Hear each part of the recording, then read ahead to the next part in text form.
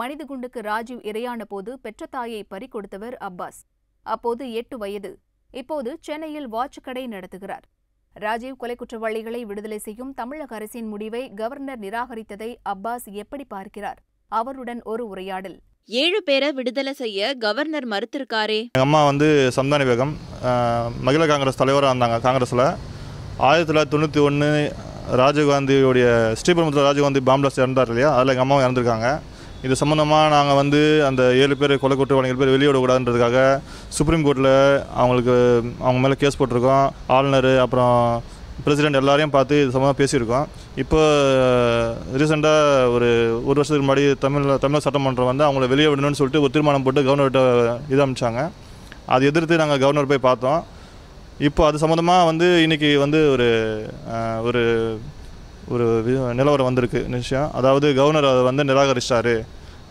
அப்படின்ட்டு ஒரு தகவல் வந்திருக்கு. இது இதோட இதோட சந்தோஷத்தை அப்புறம் சொல்கிறேன் முதல்ல இதோட இதற்கு முன்னாடி ஒரு விஷயத்த சொல்கிறேன் அதாவது எங்கள் அம்மா ஆயிரத்தி தொள்ளாயிரத்தி தொண்ணூறு இருக்கும்போது என்னோடய வயசு வந்து எட்டு வயசுங்க. அந்த அவங்க கூட வந்து ஏடிஎஸ்பி அனுஷா இப்போ ஏடிஎஸ்பியாக ரிட்டையர் ஆகிருக்காங்க அனுஷியான்ட்டு. அவங்களும் பாதிக்கப்பட்டிருக்காங்க அவங்க இப்போ உயிரோடு இருக்காங்க. அவங்ககிட்ட சொன்னது தம்பி அவங்க அம்மா வந்து யார் வந்து பாம்பிளாஸ்ட் ஆகும்போது கிட்டத்தட்ட இங்கேருந்து பனைமரம் அளவுக்கு உயர போயிட்டு கீழே வந்து செத்தாங்கன்ட்டு.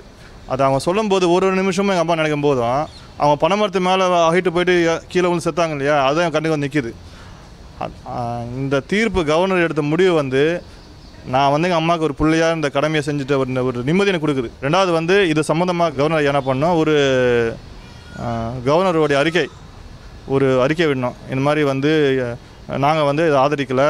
இதை வந்து நிராகரின்னு ரிஜெக்ட் பண்ணுறேன்னு சொல்லிட்டு ஒரு அறிக்கை விடணும். ஏன்னா இது இதை வச்சு சில பேர் என்ன பண்ணுறாங்க தப்பான ஒரு ஒரு அரசியல்லாம் பண்ணிகிட்ருக்காங்க இருக்காங்க.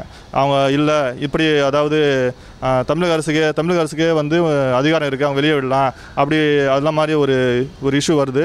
அதனால் கவர்னர் இதை ஐயா என்ன பண்ணணும் இதை வந்து ஒரு தெளிவுபடுத்தி இதுக்கு ஒரு முற்றுப்புள்ளி வைக்கணும். ராஜீவை நாங்க தான் கொன்னோம்னு சீமான் சொல்லியிருக்காரே. ஒரு நாலு நாள் முன்னாடி விக்ரவாண்டியில் வந்து நாம் தமிழர் கட்சி ஒருங்கிணைப்பு சீமான் அவர் சொல்லியிருக்காரு நாங்கள் தான் செஞ்சோம் அப்படின்ட்டு வெளிப்படையாக சொல்கிறாரு முதல்ல சீமான் அவருக்கு வந்து ஒரு மிக மிகப்பெரிய நன்றியை சொல்லிக்கிறேன். ஏன்னா அவர் வந்து எவ்வளோ வருஷமாக இல்லாத உண்மையை இப்போ தான் உண்மையை ஒத்துட்டு இருக்காரு அதுக்கே மிகப்பெரிய நன்றி அவர் சொல்லிக்கிறேன். இப்போ தெ இப்போ க்ளீனாக தெளிவாக எல்லாருக்கும் தெரிஞ்சு போயிடுச்சு. இவங்க தான் பண்ணாங்க? எல்லாம் தெரிஞ்சு போயிடுச்சு. இது முதலமைச்சர் கவனத்துக்கு போயிச்சா இல்லை மத்திய அரசுக்கு இந்த கவனம் வந்ததான்னு தெரில நம்ம தமிழ்நாடு நானா வந்தாரே வாழ வைக்கும் தமிழகம் தான் சொல்லியிருக்காங்க. இவர்னா புதுசாக சொல்கிறாரு நாங்கள் வந்து சாவடிக்கிறோம்னு சொல்லியிருக்காரு. தமிழ்நாட்டுடைய பெருமையை அதாவது இது சீர்குலைக்கிறாரு எல்லா தமிழர்களும் என்ன மானமல்ல அதாவது மானமல்ல தமிழர்கள் மனசாட்சி தமிழர் என்ன நினைப்பாங்கன்னா யாரும் இந்த மாதிரி கொள்ளணும்னு நினைக்க மாட்டாங்க. ரெண்டாவது இது இந்த சம்பவத்தில் ராஜீவ்காந்தி மட்டும் இறக்கல இவங்க கூட பதினாறு தமிழர்கள் இருந்திருக்காங்க அப்போ அந்த பதினாறு தமிழர்கள் இவர் கண்ணுக்கே தெரியலையா?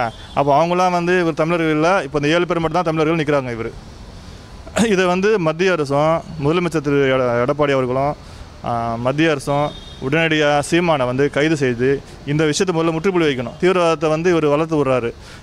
தமிழ்நாடு வந்து ஒரு பிரி தீவிரவாதம் மாதிரி அதாவது பிரிவினைவாதி மாதிரி பண்ணுறாரு இவர்.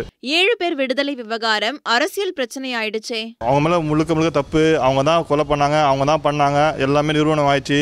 சிபிஐ சுப்ரீம் கோர்ட் ஹைகோர்ட் எல்லா நீதிமன்றங்கள் எல்லாருமே சொல்லி ஆயிடுச்சு சும்மா இந்த ஒரு சில பேர் வந்து தம்ம அரசியல் சுயலாபத்துக்காக அவங்க வந்து நிரபராதின்னு சொல்லி இது பண்ணியிருந்தாங்க.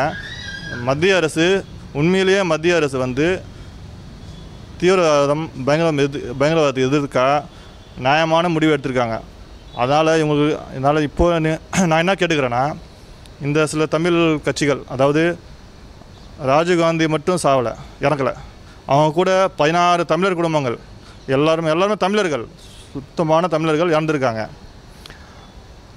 அது இல்லாமல் ஒரு நாற்பது நாற்பது பேர் வந்து கை கால் அடிபட்டு குடும்பமே சின்னாபின்னமாகி அதாவது நாங்கள் பதினாறு பேர் இந்த பதினாறு குடும்பத்தை போய் பார்த்துருந்தாங்கன்னா இவங்க போய் பார்க்கல. பார்க்காம வந்து அந்த ஏழு பேர் விடுதலை பண்ண விடுதலை பண்ணுன்னு சொல்கிறீங்க ரைட்டு அந்த அந்த பதினாறு குடும்பங்களை போயிட்டு ஒரு தடவை பார்த்துருந்தீங்கன்னு வச்சிங்களேன் நீங்கள் கண்டிப்பாக சொல்லிக்க மாட்டீங்க.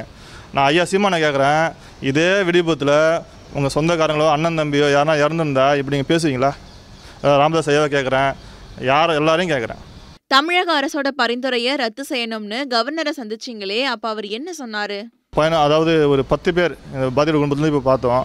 அந்த அவர் வந்து பத்து பேர்கிட்டையும் ஒரு ஒருத்தரையும் கூப்பிட்டு உங்களுக்கு என்ன வயசில் பாதிப்பு எப்படி பாதிப்பு என்ன இருந்தது? அந்த பத்து பேர்கிட்ட கனிவாக அதை கேட்டார். கேட்டு நாங்கள் ஒரே கோரிக்கை வச்சோம். ஐயா நாங்கள் வந்து எங்களை விட்டு எங்களுக்கு யாருமே இல்லை. நாங்கள் வந்து எங்கள் நாங்கள் எல்லா இடத்தையும் முறையிட்டோம். சுப்ரீம் கோர்ட்லேயும் பார்த்துட்டோம் எல்லா இடத்தையும் பார்த்துட்டோம் சுப்ரீம் கோர்ட்டு எங்களை கைவிட்டுச்சு எல்லாம் விட்டுச்சு. தமிழக அரசும் வந்து அவங்கள வெளியே விடலான்னு சொல்லிட்டு ஒரு ஒரு த ஒரு தப்பான முடிவு எடுத்துட்டாங்க.